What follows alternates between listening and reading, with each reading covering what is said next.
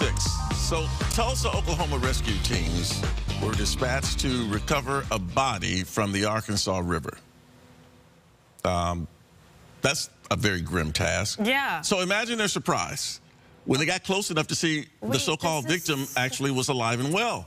This is weird. He was just napping What? on a lazy summer day on With the river. clothes on?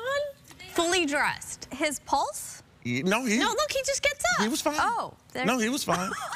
This is so weird. Okay, so I don't know why the rescuers were. It says the rescuers were embarrassed. I don't know why they should be embarrassed. Why should they be embarrassed? I mean, I mean, it looked like a legitimate call, I but they are asking Tulsans to, you know, don't do that. Don't nap on the river. Don't. I is this real? I mean, Yeah. okay. Yeah. All right.